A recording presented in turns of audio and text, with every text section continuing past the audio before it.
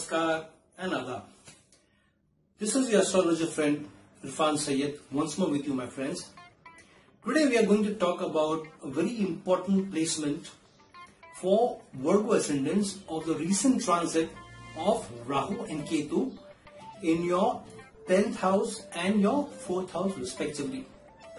I consider the 10th house and the 4th house to be the most important houses for any native. And the reason being is the 10th house denotes your career, your work, your karma, and the results that you get out of that career and work. And the fourth house is the house of domestic bliss, your all material comforts, houses, vehicles, all sorts of domestic appliances, all riches that you can get. And of course, domestic and mental peace. If you don't have peace in your, in your life, you don't have happiness in your life, mental happiness in your life, domestic life, happiness in your life, then what do you have? And if you're not doing well at work, if you're not well respected at work, your work is not doing well, you're not getting gains from your work, then there is a problem. So, with this transit of Rahu in your 10th house and Ketu in your 4th house, for Virgo ascendants it's very important also because Saturn is already transiting your 4th house. So with Ketu and Saturn both in your 4th house, it gives very different results for Virgo ascendants with Rahu being in the 10th house. So let's not waste too much time. Let's just jump into the analysis and let's understand what the Rahu and Ketu transit in your 10th and 4th house for Virgo ascendants mean. So let's look at the transit of Rahu and Ketu in the 10th house and the 4th house for a Virgo ascendant today. Now, what results does Rahu give when placed in the 10th house in transit? Rahu, as we know, is a planet of giving increased hunger, giving increased aspiration and greed for the results of the sign and the house that it is placed in or in transit. So Rahu sitting in the 10th house for Virgo ascendants gives more hunger gives more greed, gives more focus and aspiration for the results of the 10th house. Now, what is the 10th house? The 10th house denotes karma or what you do in life. It is also related to career and to your work. So, in transit in the 10th house for Virgo ascendants, the focus during this period will be on your career, will be on your work, will be on your business if you are in business, and will be on getting gains and results, growth, promotions from that work or from that career. Now, placed in the 10th house and wanting more results and gains from the 10th house automatically mean would mean that the focus being on the 10th house work will be in focus and a Virgo native will be focused a lot on work, will give a lot of time to work, will put in a lot of hard work on his career at his work, and maybe even put long hours at work. However, because of this focus at work and the greed and the hunger for the results, a Virgo native may also feel that he has not been given the justice of, of the fruits of his labor so far. So which means that there could be friction at work, friction with colleagues and even with supervisors and with managers at work. At the same time, so the communication because it is sitting in the sign of Gemini which denotes communication, marketing, branding, the native would also try and bring his work in focus. He may work a lot on his presentation, on his communication, on his or her effort to shine at work, to come in the limelight and also take go the extra mile to showcase their work, work on their presentations, work on their communication, and try and convince and also influence the bosses and the supervisors and the management that they are ready to be promoted or ready for an increment or ready for a better role change. So Virgo natives will go through that. If Rahu is well placed in your natal chart, then you may also get an increment, you may also get promotion at work, or at least you will shine at work, or there may be also extra responsibilities, added responsibilities, or a role change as well. So, your placement of Rahu in your natal chart in your personal horoscope is very important with this position. Now, sitting in the 10th house, what do Rahu's aspects mean? One of the aspects of Rahu placed in the 10th house is on the second house of earnings. So, Rahu natives or Virgo natives for this Rahu placement would want or would aspire for more earnings and more savings coming into the house, coming into the home, and would want such a role change, such a job change, or a promotion where their earnings also increase, their savings also increase. So they may also look may look at long-term investments or savings for security for long-term or in their old age. And because the focus is also going to be in career and on earnings, and if a Virgo native is not satisfied at work, then he or she may even want to look out for a change and maybe even get a change where they are looking more at earnings than really the quality of work they do or a quality of brand that they work with or what kind of role they do. So Virgo ascendants need to be a bit careful with Rahu's transit into the 10th house that they should not miss the woods for the trees which means that your focus should be on the job on your role and the designation that you do and should not be too much led by this transit only on earnings and on savings. The other aspect for Rahu placed in the 10th house for Virgo ascendants is on the 6th house of service. Now, this placement is very important for Virgo ascendants because Rahu is placed in the 10th house. One aspect is on the second house of earnings, and the other aspect is on the house of service in Aquarius. Aquarius also stands for large organizations, social network, extended circle of friends, and extended circle of people that you know, specifically work related. So, with a focus on the house of earnings and on the sign or in the house of service, a native may look at how he has got the fruits of his labor from that particular service. So the focus is going to be on work, focus is going to be on career and the kind of work they do.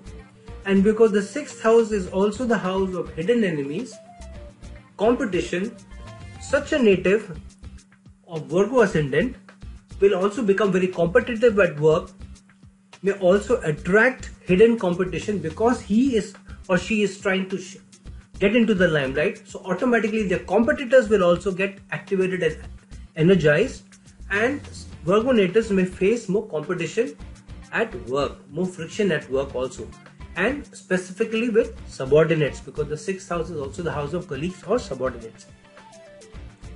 Okay, now what does Ketu placed in the fourth house denote for Virgo ascendant natives. As we know that Ketu absorbs the results of the house and sign that it sits in, sitting or placed in transit in the fourth house, Ketu here absorbs all the results that the fourth house can give you during this transit, which means generally fourth house results of all the material comfort that you get in life including houses, vehicles, domestic appliances, comforts, luxury items, all this will become harder to get in this particular phase so if you're looking at buying a house, be very careful of what property you buy because it may become a wrong investment for you and your money may be locked up or get into trouble. If you're buying cars, be careful of what cars you buy and the brand that you buy and if your paperwork is diligent and good specifically for property so that you don't run into other trouble because Ketu will absorb the results and not allow you gains on the fourth house. The third thing that Ketu does, sitting in the fourth house, is absorb the results which the fourth house gives, which also constitutes domestic peace, domestic happiness. So at home, you may be less focused and you may spend less time at home and you may get, get less attention from your family members. And so, because of frustration at work, because of Rahu's placement, especially if Rahu and Ketu are not well placed in your natal chart or your, in your personal horoscope, then you may not get mental peace during this time and because of frustration you may also face issues at home because you may get your challenges and your problems home with family. And the, you will also see that during this time there may also be distance from family. This is an important placement of ketu in the fourth house. Now what does ketu's aspects mean? Sitting in the fourth house while in results of the fourth house Ketu may not give you gains, but Ketu will also not allow many changes of the fourth house or bring a sudden big change which could either be for good or bad because Ketu is also a change bringing entity. Similarly, its focus on the 8th house in Aries, which is a very fiery sign, and the sign of Mars, may also bring in challenges of health while Ketu's aspects on the 8th house absorbs the energy of the 8th house and Ketu is not bad sitting in the 8th house. However, because it is Aries ascendant and based on where Mars is, this may or may not be no trouble. However, there may be sudden incidents which make you also visit the clinic. So one needs to be careful specifically with wearing helmet if you are if you go on the bike or wearing your seat belts because there may be sudden challenges to health because the eighth house is also the house of accidents and sudden developments. The other aspect of Ketu is on the 12th house of hospitals, of clinics, of seclusion, of losses.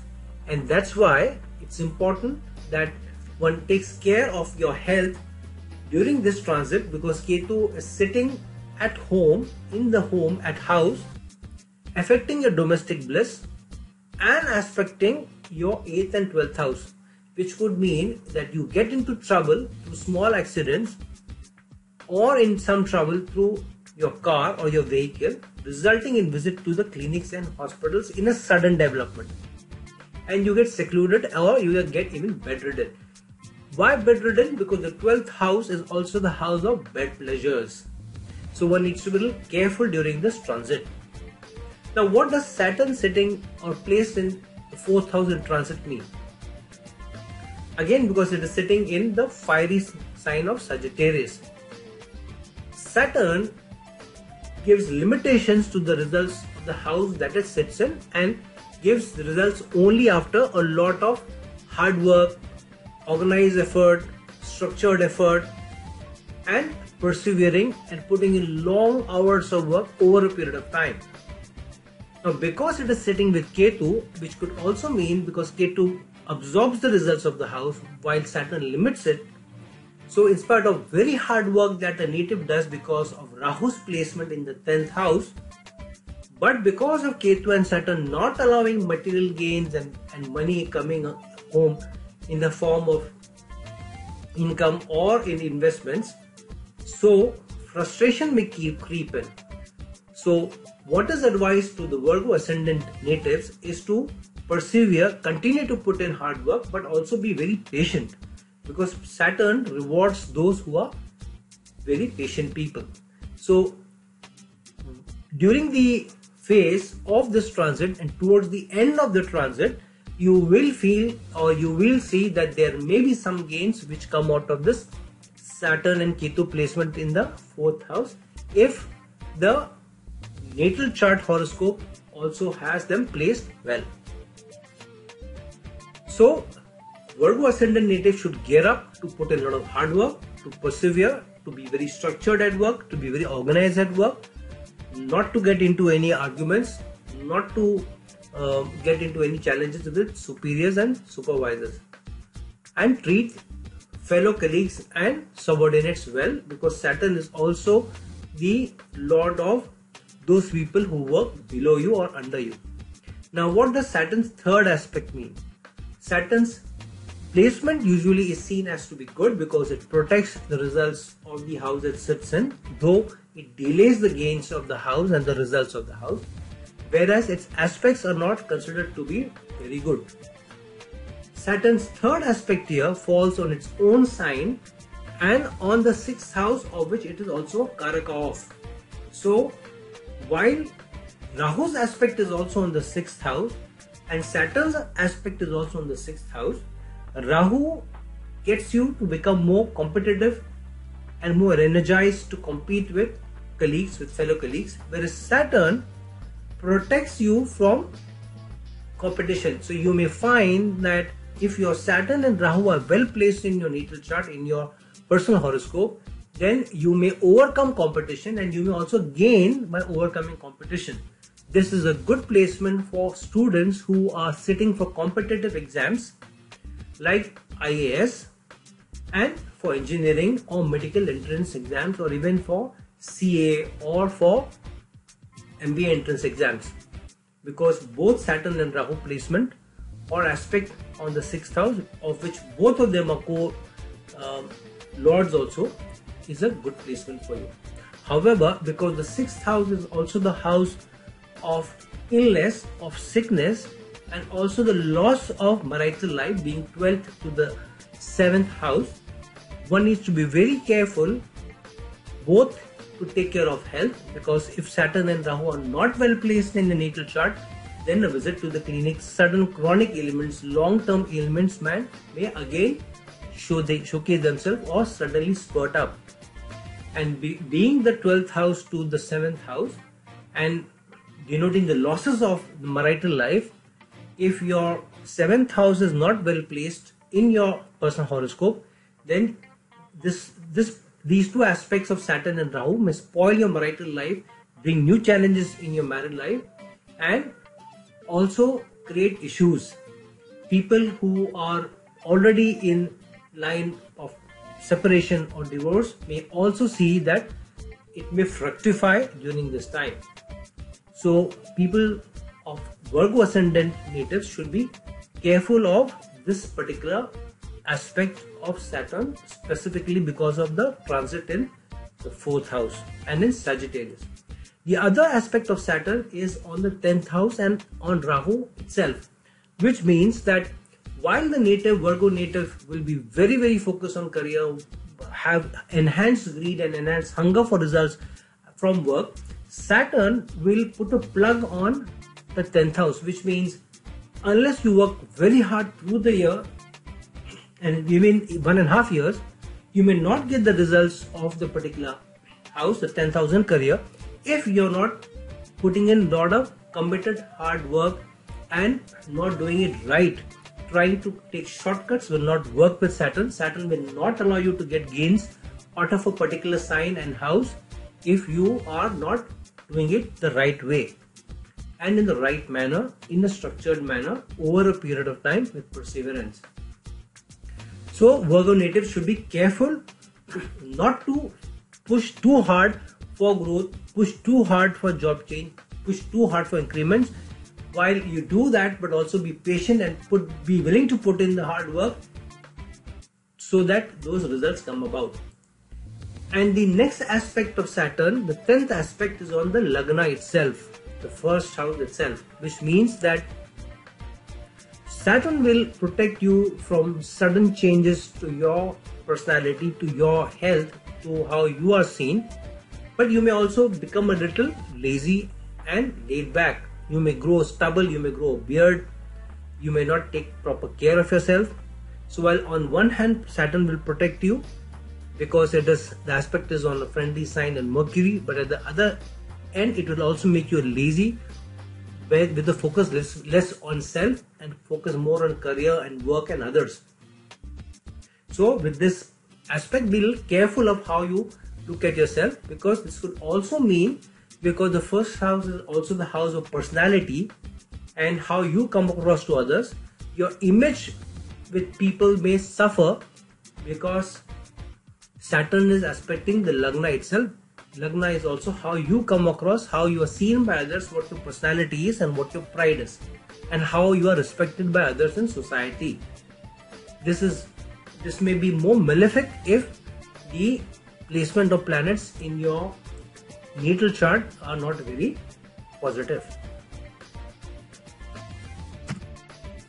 Now that you have understood the results that the Rahu and Ketu transit are going to give for Virgo ascendants, please try and understand what this transit specifically means for you personally based on the planetary placements in your personal horoscopes, in both in your natal chart and in your Navamsha. Because the same results will not be for Virgo ascendants while the explanation that I've given you will hold true generally to a large extent, however, whether you get good results or bad results out of your 10th house and your 4th house will depend primarily on the planetary placement in your natal chart. So don't waste any time. It's better be prepared. So reach out to a personal consultation to understand what are the results that Rahu and Ketu will give you over the next one and a half years basis your planetary placement in your horoscope. So for a personal consultation with me, please reach out to my email ID in the links below and please subscribe to this channel because there are many many videos which are going to come forth uh, through through me. And um, looking forward to meeting you once again. Until such a time we meet again. Ciao